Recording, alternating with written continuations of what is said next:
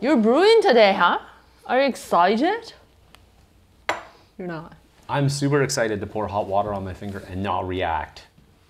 Just uh, today is a, a, a tasting. Well, we're just gonna Do some have some ketchup and uh, uh, mustard while we taste some. Um, Tea with relish.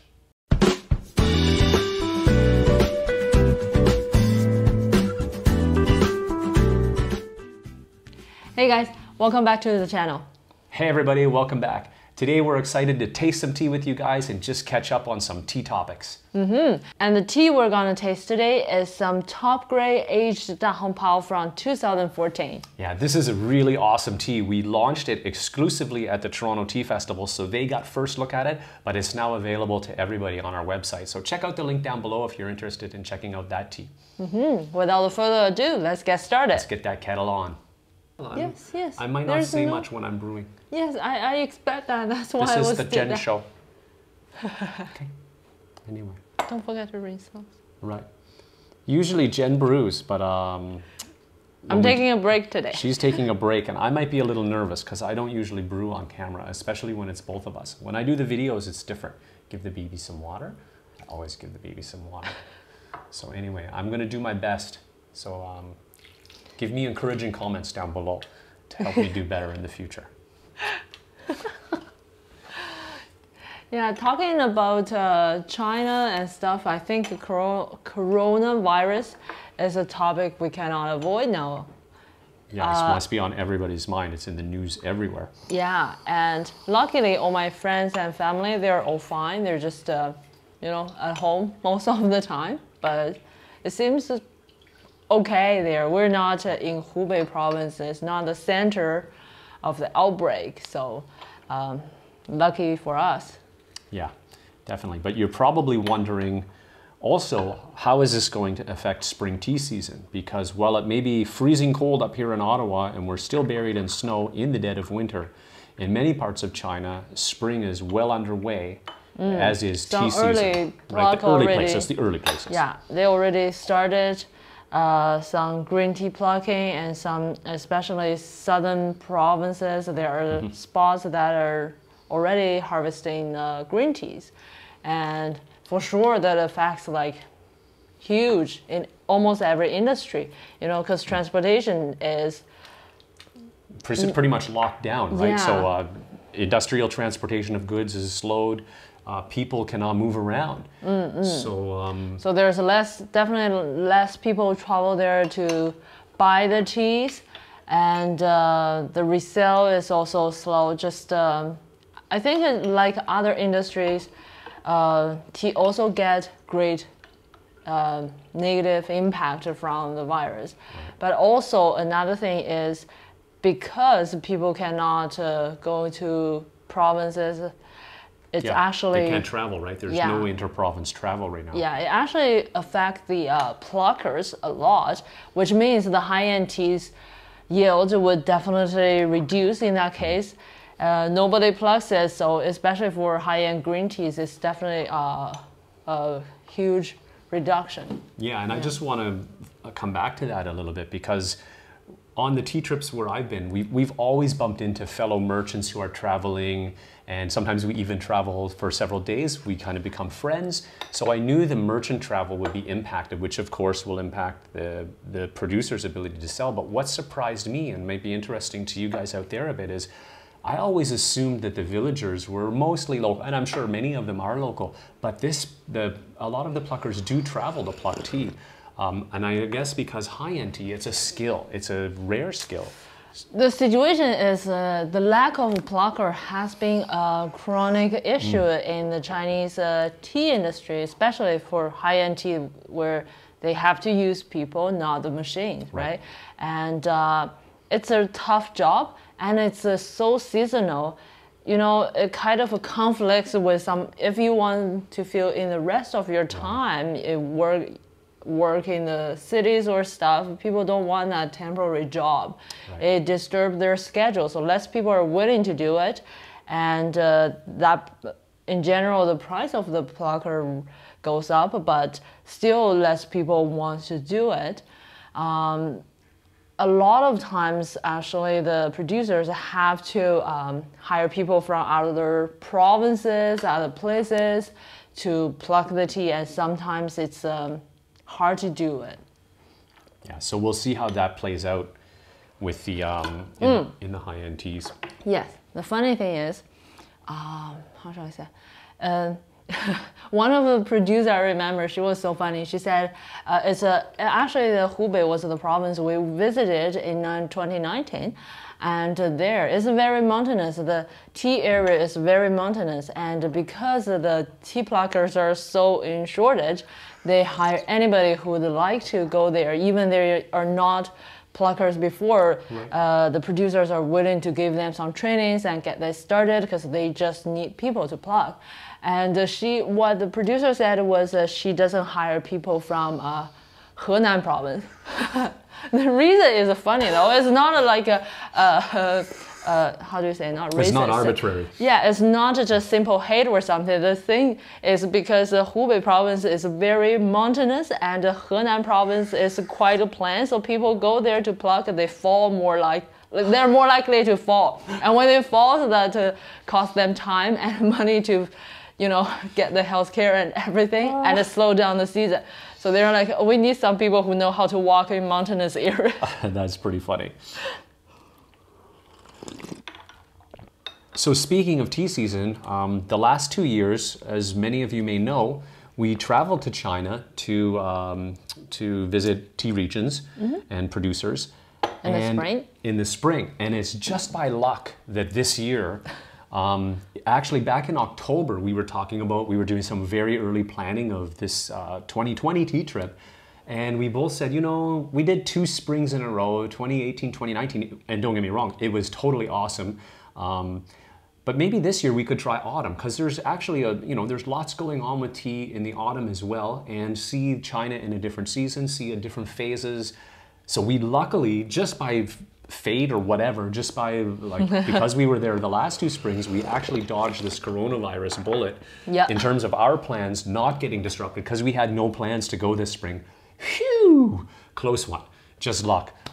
Since we're talking about the 2019 tea trip, uh, exciting news is that uh, our Charen magazine is uh, coming out with yeah. the latest issue on this Friday, February the 21st. First. Yes. Easy because it's a week after Valentine's Day. So yeah, super excited to drop that. Um, if you want to uh, have access to that, head to our website and sign up to our email list. It's free access for everybody on the emailing list. Um, that includes last year's issue and, the, uh, more importantly, the upcoming this year's issue, packed with great articles. And um, we added some new feature, uh, new features to the magazine, improved uh, um Viewing.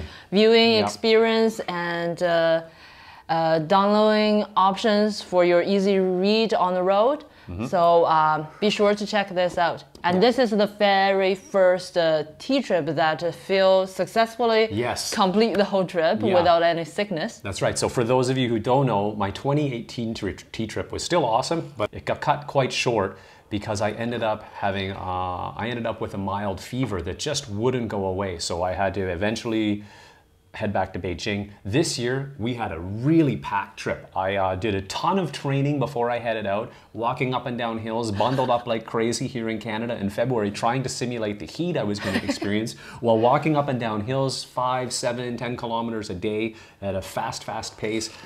I got there, it worked like a charm. I was able to uh, handle the time change, the temperature change, the uh, everything. Yeah, and, we planned it a little bit more like uh, thoughtful, especially when you just landed Mm-hmm. Yes. with the climate change, the time zone changes. Yeah, One two days to really stick at one place and not move was really helpful too. Yeah, anyway, it worked out great. Um, I think in total you hit like six provinces. I hit three provinces. We saw all kinds of different tea production. So definitely check out the magazine for an in depth look at that adventure. Yes, we have some vlog already posted on the channel, but uh, on the magazine, what we're trying to share is a little bit, uh, how should I say, like a deeper thoughts, a little bit more. Uh, um, Uh, a little bit more um, uh, gee, we're both struggling for the word, but um, it's a deeper look. We get more into the details. Yeah, a little bit more details, a little bit layer of uh, r- uh, rather than think simply talk about one thing. We uh, share our thoughts and uh, kind of uh, being intriguing, like uh, open the discussion Right. of some really inside the industry situations and what you would actually see when, because we don't just go there to buy tea. We stay with producers and farmers. right. We work with them very closely, and right. we know a lot of issues. And So this, the mag, yeah, yeah. So the magazine gives us a chance to sort of open the lid on some of those issues that are just too complex for a short video, and um, and it also gives writing always gives you a better chance to clear up the thought, and put right. that in the more Yeah. rational, logical way Right. of stating a issue or a problem or share some uh, uh, reasoning and stuff. So don't take our word for it. Check it out, and you'll see what we mean. It might be way easier if you do that. 'cause- Absolutely. And also for me, even though I'm a, I think the, the biggest uh, thing that I learned in this trip is even though I am Chinese, and a lot of times I was simplifying to say, oh, as a Chinese or something like that, to mm. really travel in different regions and go to different even villages and towns. you were pretty to- remote, Yes. right? Yes. Very remote locations. yes, how people were travel, how people are living, their thoughts, their way of thinking things are so different. Their cultural is so different. Like, of course, the very simple level is the dialect we don't understand, but that's just no surprise there. But when we take a deeper look and those, sometimes when I see the slogans on the on the buildings and stuff in those villages, I was like, that reminds me of the 80s or 90s Hmm. in my hometown. Like, uh, because I come from the east coast, uh, east eastern coast. Yeah, east coast of China. Yeah, so what I know is really local to there, and the Hmm. more I see of China, I realize that uh, talking about China being big is. Uh, geographically right but also it means a lot more to me now I think your point about the billboards, everybody uh, who's traveled, even Westerners, whenever we travel, that's something I always notice too, probably you guys too. When you go to a new place, that's one thing that lets you know you're in a new culture. The way the billboards are phrased or just the way things are approached differently is sometimes shocking. Yeah. So even for Jen, when she just travels across China, she experienced that. And that was interesting to me too, because mm-hmm. of course it's a big country, but we have a tendency with YouTube and Twitter and all the hyper connectivity we have to think, oh, the world is shrinking and small. And of course that's true to a degree. But culture is still culture. It doesn't change because uh, because YouTube exists and because Twitter exists for, for a year or two or ten. It takes time. And sometimes when we see the scratch of the stuff when we dig down and uh, Right. look closer. It's actually the totally the other picture we're seeing. So um, that's something very fun for me. And me too. okay. still coughing. Mm-hmm. Good. Mm-hmm. It's going to be a cut, so I'm going to start here. And something Wait, wait, else. wait, You know- I was moving. oh yeah, sure. Okay. And something else that's fun for us is getting out in front of you folks, which we're going to be doing again this spring in Toronto. We have a tea seminar, tea tasting seminar coming up, which is going to be awesome. Mm. It's talking about black tea. Yeah, I know it sounds boring to many people, but I think black tea is a, a familiar stranger. Right. Like it's kind of like the acquaintance, somebody you never got to know deeply. Um, and maybe it's even because you kind of don't like them a little bit, but you just want to be polite. But black tea is something that is really underexplored by tea Yeah. lovers in the West. I think because it's the tea that goes in tea bags. Mm. This is not a good reason to pull out your hate on for black tea. Mm-hmm. Not to mention, this workshop is not just about the black tea. We're using black tea as an example to showcase our point. And because black tea is the most familiar tea to many of people, I think be- it would be easier for people to understand what we're talking about, Yeah, which is definitely. about process. And like I always say, what you taste from the tea majorly come from the process. It's not the terroir, it's not the cultivar, Yep. it is the process. And uh, this is the topic. We kind of have to do that face to face while we're tasting the same thing at the same time. So, uh, in this seminar, we want to brew up some tea and special for us. Even though we're a Chinese tea company, we're gonna taste the We're Black going teas. global. Yes. We're going global. We're going to grab black teas from all over the world, which I'm super excited to do because it's Yes. super interesting. Yeah, and to compare, despite that, what are the elements you taste from uh, this tea that comes from the process? What process make that to have this fruitiness? What happens in the leaves to give this black tea a, that uh, that bite Maybe you that like? bite or that crispy right? edge or Yes. So it's uh, our uh, advanced course, but also a starting course to help people understand. Mm, how should I say? Decoding the taste. Yeah, I think it's going to be a great course for uh, beginners and experts alike. Mm. Um, I think a lot of experts get so hung up in what those things like terroir and uh, cultivar.